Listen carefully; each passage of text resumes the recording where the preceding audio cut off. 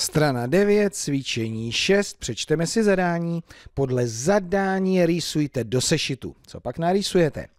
Narýsujte polopřímky A, B a polopřímku AX, které budou navzájem opačné. No a protože se nacházíme na opakovací stránce, takže to nejdříve celé zkuste sami a za chvíli to ještě jednou projdeme společně. Přerušte video a za chvíli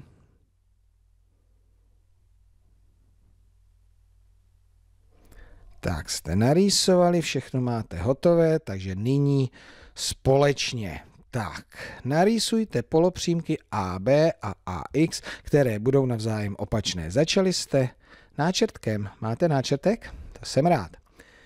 Tak, polopřímky, ale navzájem opačné. To znamená, že jsme si řekli, nebo že jste si řekli, co pro takové polopřímky navzájem opačné platí tak nejdříve musí ležet na jedné přímce a mají pouze jeden společný bod, a to teda počátek. Takže ten bod můžeme položit sem, to je ten společný jediný bod.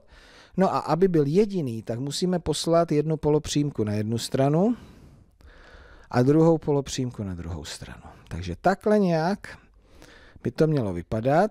To jsme zjistili náčrtkem. Nyní si vezmeme pravítko, narýsujeme si tu přímou čáru, klidně i pojmenujeme, je to přímka a teď uděláme na té přímce dvě polopřímky.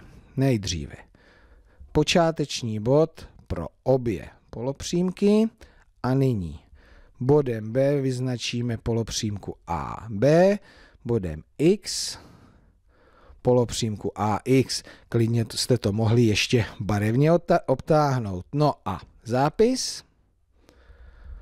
Polopřímka AB a polopřímka a x jsou navzájem navzájem jem navzájem opačné.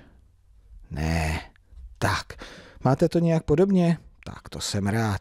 Takže co jsme si zopakovali? Rýsování polopřímek navzájem opačných.